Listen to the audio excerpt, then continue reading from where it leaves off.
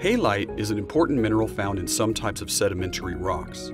It is the mineral more commonly known as table salt. A brief examination of a specimen of halite shows that it clearly displays a non-metallic luster. If we examine any ordinary sample of halite, we will always find several flat cleavage surfaces. A very important thing to notice about these cleavage surfaces is that when they intersect, they do so at 90 degree angles. These intersections give halite a tendency to form cubic or rectangular shapes.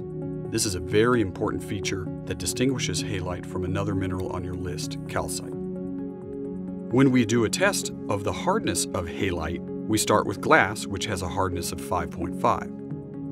When we attempt to scratch the glass with a crystal of halite, we see that it does not leave a scratch. This tells us that the hardness of halite is somewhere below 5.5. When we attempt to scratch the halite crystal with a fingernail, which has a hardness of 2.5, we find that the fingernail does not scratch it.